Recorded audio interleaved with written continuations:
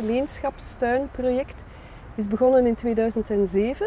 Het is aan de grens Laken-Molenbeek, dus op de grens van Tour en Taxi, uh, Jubileumbrug, dus met zicht op de skyline van Brussel, dus eigenlijk vrij centraal in Brussel.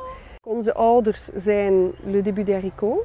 Zij hebben ons de basis gegeven, ik zou zeggen, in de praktijk uh, te leren doen.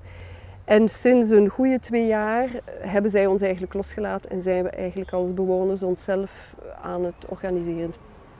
Het is een, een biologische uh, cultuur. We gebruiken geen chemische meststoffen, geen chemische bestrijdingsmiddelen, maar we doen het zoveel mogelijk op een natuurlijke manier.